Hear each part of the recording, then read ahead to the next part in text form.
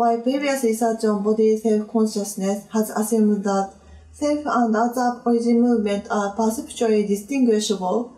this protocol allows to make them ambiguous on the virtual hand. This method enables us to observe participant's experience as formed by a sense of ownership and another produced sense of agency, rather than just the absence of these senses.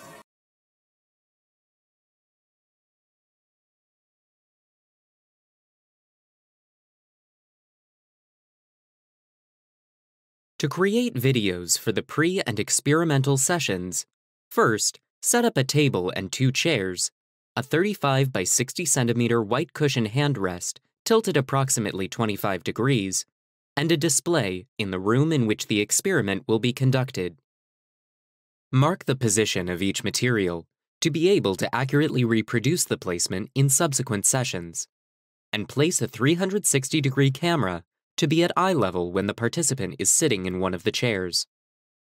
For the video for the male participants, have a male mock participant sit in the chair wearing a lab coat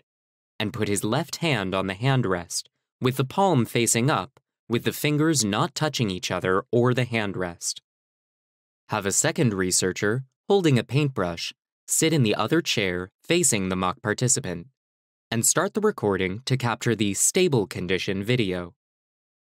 Play a reference tone and have the researcher stroke all of the mock participants' fingers with the paintbrush for 80 seconds. Have a second researcher place an approximately 30 centimeter kitchen knife with a 20 centimeter blade in the field of view of the camera,